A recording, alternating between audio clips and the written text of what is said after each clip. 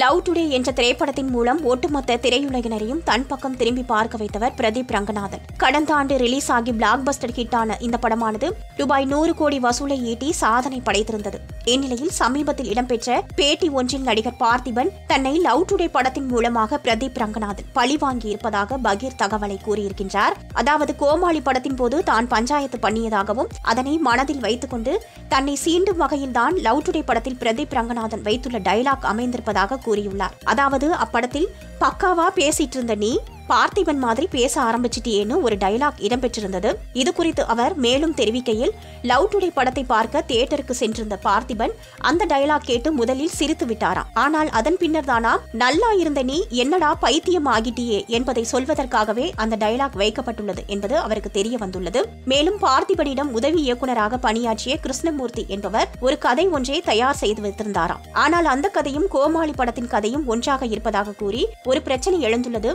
இதனை தொடர்ந்து பாக்யராஜ் முன்னிலையில் இந்த கதை சர்ச்சை குறித்து பேசி தனது உதவி இயக்குனருக்காக ரூபாய் பத்து லட்சம் வாங்கி கொடுத்திருக்கிற பெருமை பார்த்திபனையே சாரும். இந்த பிரச்சனைகள் யாவும் கோமாளி பட ரிலீஸ் சமயத்தில் நடந்துள்ளது. இதை மனதில் வைத்துக் கொண்டுதான் லவ் டுடேவில் அப்படி ஒரு டைலாக்கை பிரதீப் ரங்கநாதன் வைத்திருந்ததாக பார்த்திபன் அப்பேட்டியில் ஓபனாக தெரிவித்துள்ளார். அதோடு தன்னை பழிவாங்கும் நோக்கத்தில் பிரதீப் அந்த டைலாக்கை லவ் டுடே படத்தில் வைத்திருந்தாலும் அவரை அந்த பேட்டியில் திட்டி தீர்க்காமல் பார்த்திபன் பாராட்டி பேசியிருந்தமை பலரையும் ஆச்சரியத்தில் ஆழ்த்தியுள்ளது. இந்த மாதிரி நியூஸை கண்டினியூஸாக கேட்க ராஜ் டியூப் சேனலுக்கு லைக் பண்ணுங்க ஷேர் பண்ணுங்க சப்ஸ்கிரைப் பண்ணுங்க பெல் பட்டனை ப்ரெஸ் பண்ண மறந்துடாதீங்க.